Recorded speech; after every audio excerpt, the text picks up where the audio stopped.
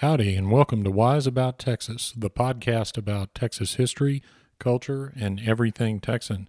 I'm your host, Ken Wise. We're putting this episode out near November 3rd, which is Election Day here in Texas. I picked this day on purpose for this episode because Texas has a long history of colorful elections, and they always make good stories. We'll certainly cover many of them during the course of this podcast, but we're going to start with one of our most famous elections one that led directly to the election of a President of the United States and changed our national history forever. That's the U.S. Senate election of 1948. So let's go back to the 40s and get wise about Texas. Back in 1941, on August the 4th, there was a special election for one of our senators because of the death of Senator Andrew Jackson Houston, who happened to be the son of San Jacinto hero Sam Houston. The governor then, Wilbert Lee Pappy O'Daniel, entered the race against, among others, a New Deal congressman from the Hill Country named Lyndon Baines Johnson. By the way, this race was a Democratic primary because since Texas was essentially a one party state, whomever won the Democrat primary almost certainly would win the general election. O'Daniel won that race with a controversial flood of late election returns that came in and handed him the election. Before that Senate election, Governor O'Daniel had run for governor in 1938. He did so by hitting the road with a band, a Bible, and an affected hillbilly personality. He wasn't even born in Texas, as a matter of fact. And he also had a professional public relations man directing all of those efforts. By the way, his band was called the Light Crust Doughboys, although he called them the Hillbilly Boys on the campaign trail. One of the members of that band was a fiddle player you may have heard of named Bob Wills. Later on, there was a lawsuit between Wills and O'Daniel that we'll talk about perhaps in a music episode. His campaign was considered almost vaudevillian, and he certainly was one of the first candidates to ever use media, specifically radio, and a show business attitude to win an election. Oh, what a trend he started these days. It worked, and he was elected governor in 1938, but what he really wanted was that Senate seat. He hit the road during that 1941 special election utilizing the same tactics that he had used in his gubernatorial election. Those tactics, coupled with the interesting flurry of late election returns, resulted in Governor O'Daniel being elected to the Senate. He was later reelected in the regular election of 1942, but was going to retire after his first term in office. So the 1948 Senate election in Texas would be for an open seat. The governor in 1948 was O'Daniel's lieutenant governor, Coke Stevenson. Governor Stevenson was born in a log cabin in Mason County and grew up in Junction, Texas. He entered the Senate race in 1948, riding a wave of popularity from his gubernatorial service, and no doubt was a favorite to win that election. Now, one of his opponents, Lyndon Johnson, was then a popular congressman from the 10th Congressional District, which was in the central part of Texas. He must have learned something from his 1941 run against Pappy O'Daniel because he hit the trail hard. Now, let me say a word about coming at a statewide race as a governor versus coming at it as a congressman. A congressman represents a district which consists of a piece of the state, but naturally not the whole state. Johnson had not been on the ballot in Texas statewide except for that one losing effort in 1941. Stevenson, however, had been elected lieutenant governor, which is also a statewide position, and he'd also, by that time, been elected governor twice. So voters all across the state were very familiar with Coke Stevenson's name, which makes a difference in later elections. So Johnson had a disadvantage on this front as well. Now, one way a congressman can overcome this is to call on his fellow congressmen from Texas and try to activate their various political operations in favor of their colleague. So, come the 1948 senatorial election, the battle was joined. Now, in the 1948 primary, there were more than just Coke Stevenson and Lyndon Johnson. In fact, there were 11 candidates in that primary, and plus one person that got a write in vote. Johnson campaign, campaigned feverishly in that primary and actually employed a helicopter to fly around to various events, which in 1948 Texas had never ever been done. No doubt he also drew a lot of attention just flying it around. The Associated Press dubbed the helicopter the Johnson Windmill. Now, there are a couple of cute stories about Johnson and his windmill. One time they were flying, and Johnson saw some railroad workers working on a track. He ordered his pilot to set the helicopter down. He jumped out, passed out his pamphlet, shook hands, and got back in and flew off. Another time in East Texas, he was flying over a cotton field being worked by the field hands. He had his pilot wheel the helicopter around and come in, at which point the field hands dropped their tools and fled in terror. Before they could get to the safety of the trees, however, Johnson's voice came booming over the helicopter loudspeaker telling him to be sure and vote for their friend, Lyndon Johnson. His pilot one time was asked how many times he had to set that helicopter down during the campaign, and he said any time there were two people and a big dog. And I used to go to church with a former congressman from Corpus Christi named John Lyle, who once told President Johnson that that helicopter sure made a lot of noise. And Johnson said, Yeah, but it sure got me a lot of votes. Stevenson, on the other hand, uh, relied on his popularity as a governor and didn't really actively campaign. Up until the 1948 election, the tradition really was to campaign by going to the various county seats in the state and making speeches at the courthouse. And from there, you'd basically rely on word of mouth to get the word out about your campaign. Now, when the votes were tallied, Stevenson and Johnson had emerged as the two highest vote getters, which meant they were going to go to a runoff election. Despite not actively campaigning, Stevenson's name ID resulted in a lead over Johnson by a little more than 70,000 votes after that first round of voting. The runoff turned out to be similar in that Johnson campaigned very hard and Stevenson really relied on his name ID. Now, this is not all that surprising because, again, Johnson was behind, behind name ID front, needing to build it outside of just his con- congressional district, whereas Stevenson had it statewide. The runoff was going to take place on Saturday, August 28, 1948. Now, the way they had election returns in those days, they would obtain the um, election returns by phone from the various voting precincts. Paper ballots were used in most of the rural areas of Texas. This was before the widespread use of voting machines and way before the electronic voting equipment that we use now in Texas. So instant election returns were not really available. In fact, it would take days to get all the final returns in. Stevenson, while they were calculating returns, Stevenson led Johnson by varying margins until six days later, on the following Friday, when 201 votes came in from Precinct 13 in Jim Wells County. Jim Wells County is in South Texas, so we need to talk a little bit about what elections were like in South Texas in 1948. In South Texas back then, political power was concentrated in the hands of a few political bosses, and politics was very violent in that area of Texas. On election day, armed men, usually made deputy sheriffs for the day by the boss, would herd the people to the polls and hand out their poll tax receipts as they came in to vote. Now, back then we had a poll tax, so you had to have a receipt to vote.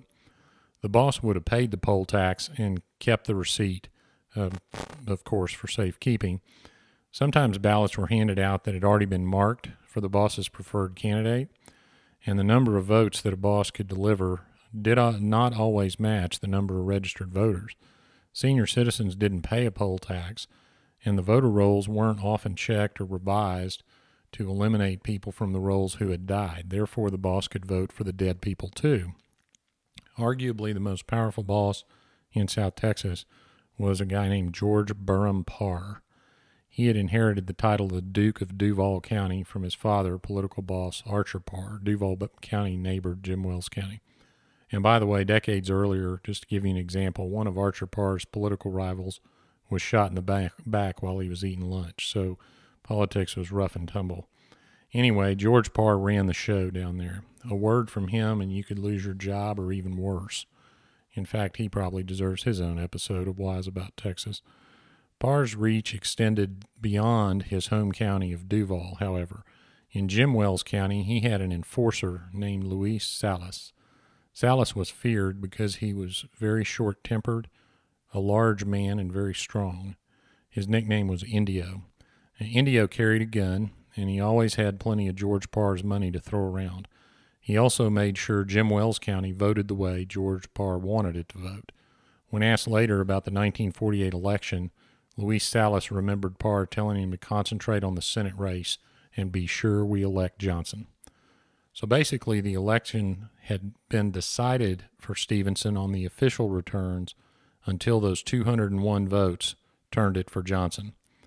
Now, of the 201 votes that came in, 200 were for Johnson and one vote was for Stevenson. We don't know who that is.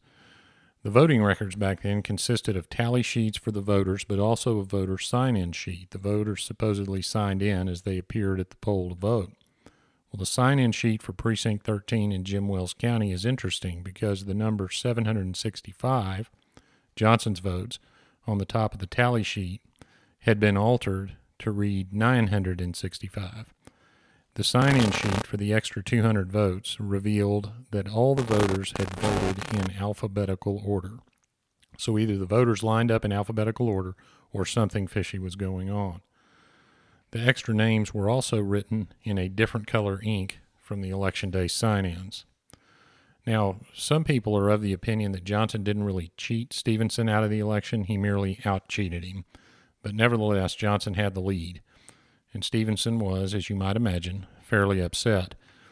Now, they were facing a deadline to get on the general election ballot. The Democrats were going to convene and the convention was going to nomin- officially nominate the candidate to the ballot.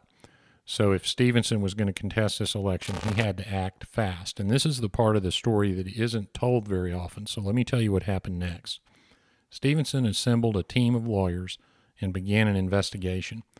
Some lawyers went to the neighboring Duval County, which was the home of political boss George Parr, and they started interviewing residents. Some people said that they hadn't voted, but rather had given their poll tax receipts to other people who cast the ballots for them. Unfortunately, no notary in the entire county was willing to attest to those statements. At one point, some Duval County sheriff's deputies put those lawyers up against the wall, searched them, and gave them a half hour to get the heck out of Duval County, which wisely they did. The lawyers who went to Jim Wells County, the site of the soon to be infamous Precinct 13, noticed several rough looking characters walking around the streets of Alice, which was the county seat, with pistols and rifles. They went to the bank where the election documents were stored and asked to see them, which they were allowed to do by law. Any citizen was allowed to see the sign in sheets and the tally sheets. The bank officer, who was also the election clerk, politely informed them that certainly they could see the documents, except for one problem. They were stored in the vault, and he didn't feel like unlocking the vault at this time. So that led, uh, that little incident led Governor Stevenson himself to go down to Alice, but he didn't go alone. Governor Stevenson was friends with a very famous former Texas Ranger named Frank Hamer. He took Ranger Hamer with him, and you might m- remember Frank Hamer's name. Among other notable events, he was the officer who led the chase and eventual killing of the famous outlaws Bonnie and Clyde and had quite the reputation in Texas. He and Stevenson met Stevenson's lawyers in Alice and marched down the street to the bank. They managed to get a look at the voting records, but as soon as they started taking notes, the folks at the bank grabbed the documents and invited them to leave. They did manage to get enough names to do a little investigation, however. When they did that, they learned that some of the folks that were listed on the sheet didn't actually vote. They also discovered that some of the folks listed on the sheet not only didn't vote, but they were dead. So Stevenson had a decision to make. He persuaded the state Democrat committee to call for an investigation of the election irregularities. And shortly after finding out that an investigation had been called, Lyndon Johnson sprang into action and filed a lawsuit. He sued Stevenson, he sued Frank Hamer, he sued the other lawyers, alleging that they were trying to monkey with the election results. Importantly, though, for our purposes, he asked the court for a restraining order to prevent Stevenson and his team from altering the results. Now, I won't dive too much into the technical weeds of this lawsuit, but there are a couple of interesting observations about it. First, Johnson filed the lawsuit in Austin, which is Travis County, as opposed to Jim Wells County, which is where the events occurred. The clerk's file stamp on Johnson's petition, which I have personally looked at, says it was filed at 9:50 p.m., which is a long time after any courthouse would close. The restraining order was stamped granted at 9:55 p.m. 5 minutes later, so there wasn't much of a hearing on that temporary restraining order. The restraining order also set the next hearing to occur in Jim Wells County on the following Monday. The lawsuit was filed on a Friday, by the way. Now, that's an unusual set of circumstances. There's also a note in the court file that the case was then transferred to Jim Wells County at the request of the plaintiff, the person bringing the lawsuit, which is also fairly unheard of.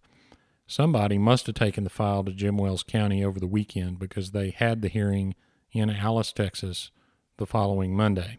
And reportedly, political boss George Parr himself came into the courtroom and sat in Lyndon Johnson's table.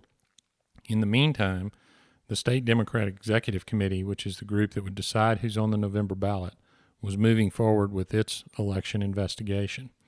That committee voted to put Johnson on the ballot by a vote of 29 to 28.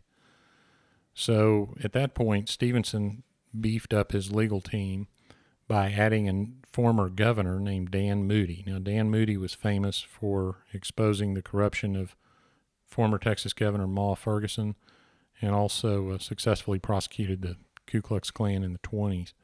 So Stevenson added Governor Moody to his legal team, and they filed a suit in federal court. Now, they also got a restraining order and hearing. The federal judge agreed with Stevenson and indicated that the alleged election fraud needed to be investigated. Johnson moved to stay that order so that the state Democrat committee could go ahead and certify the ballot with his name on it. So, with each passing day, Stevenson's chances of being on the ballot were lessening. Now, I will mention one thing about that federal lawsuit. Those so we had a state lawsuit brought by Johnson and a federal lawsuit brought by Stevenson. The federal lawsuit went all the way to the Supreme Court, the U.S. Supreme Court, and uh, Stevenson had to go through the Fifth Circuit uh, which was not in session, by locating uh, Judge Joseph Hutcheson, who was in Houston. Hutcheson refused to rule. He then went to Justice Hugo Black of the U.S. Supreme Court uh, at his house over a weekend to get him to try to stay Johnson's efforts on the state level. He eventually lost in the federal court. The Democrat Executive Committee certified the ballot with Lyndon Johnson's name on it, and the result of all of that litigation, of course, was to pave the way to the presidency for Lyndon Johnson. He later went on to become what was described as the master of the Senate during his years in the Senate and famous for the Johnson treatment, where he would get right in your face and convince you to see things his way. John Kennedy picked him as his running mate